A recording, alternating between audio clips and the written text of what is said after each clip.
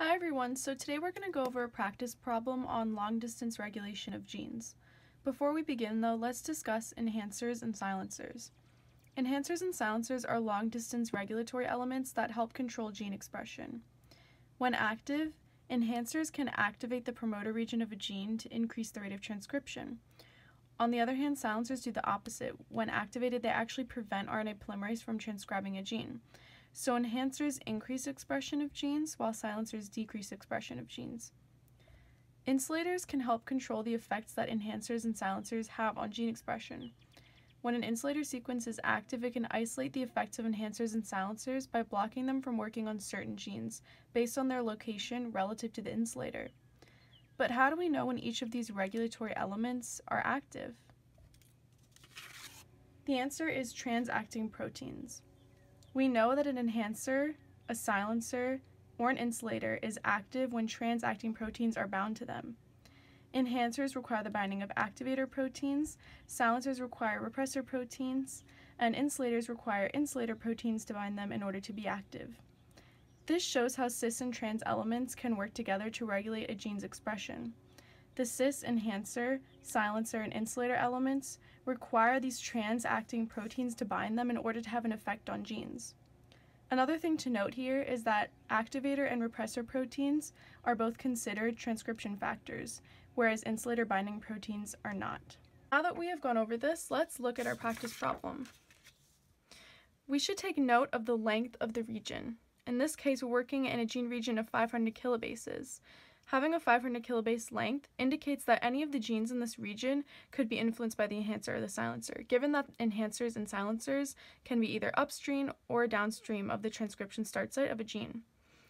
The problem also states that each of these genes have intermediate expression when no regulatory proteins or transcription factors are bound to the enhancer, silencer, or insulator. In this demonstration, I'll be using a pink heart to represent an activator protein, a green triangle to represent a repressor protein, and this bottle cap to represent an insulator protein. There are six scenarios we'll be looking at in this question. Let's look at the first. Here we are asked what kind of gene expression we'll have if there's no binding at the enhancer, insulator, or silencer. So the question already stated that when there's no binding, genes A, B, C, and D will have intermediate expression. So we know that answer from the prompt. Genes A, B, C, and D will all have intermediate expression if there's no binding of any regulatory proteins to the enhancer, insulator, or silencer. So there's nothing here. The second scenario looks at regulatory proteins binding at just the silencer. So as we mentioned before, when we have that transcription factor binding at the silencer, that makes it active, which means it can work on the genes in this 500 kilobase region which means that it will work on gene A, B, C, and D. The silencer is going to decrease the expression of these genes, and given that they have intermediate expression with no effects working on them, this will cause A, B, C, and D to all have low or no expression.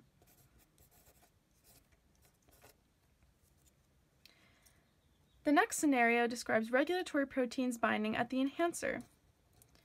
This is the exact opposite of what we just um, discussed for the silencer when our um, activator protein is binding at the enhancer, the enhancer is active and it can work on any of the genes in this region as we mentioned before, which means it can promote expression of gene A, B, C, and D. This is going to make all the genes have high expression. Now let's look at something a little trickier. In this scenario, regulatory proteins bind at the silencer and the insulator. So the insulator protein is bound. The silencer has its regulatory protein bound as well. What does this mean?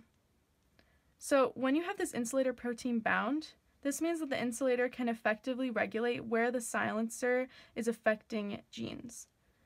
It's going to block the silencer from having an effect on genes A and B, as it is on the other side of the insulator. It's physically blocking the silencer from working on these genes and decreasing their expression. However, genes C and D can still be worked upon by the silencer now that it is active. So we'll see in this case that genes C and D have low or no expression, while genes A and B have intermediate expression since nothing is working on them. None of them have high expression. Our next scenario looks at regulatory proteins bound at the enhancer and the insulator. Again, this is a flip situation from what we just discussed. Now our enhancer is active, its regulatory protein is bound. However, this insulator protein is blocking it from working on the genes on the other side of it.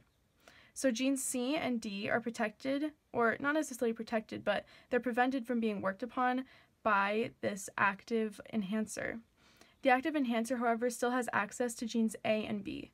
So in this case, genes A and B will have high expression as they're being worked upon by the enhancer.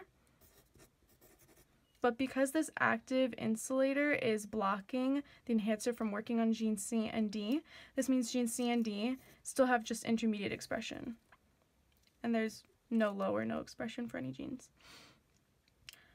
Our final scenario is asking what will occur if regulatory proteins bind at the enhancer, the insulator, and the silencer.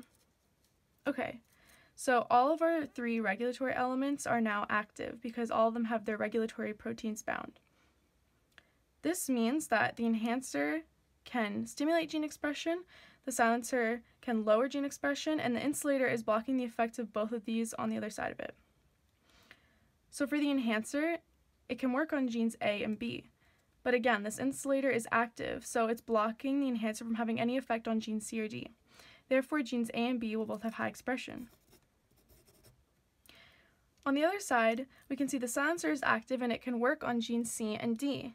But again, the insulator is active now, so it cannot have any effect on the genes on the other side of it.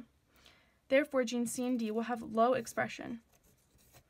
In this case, none of the genes have intermediate expression. All the genes are being worked upon by either the enhancer or the silencer, and the insulator is regulating the effects of each. Thank you guys for watching, and I hope that this helps in your understanding of long distance regulation. Good luck with your end of the semester exams. You got this.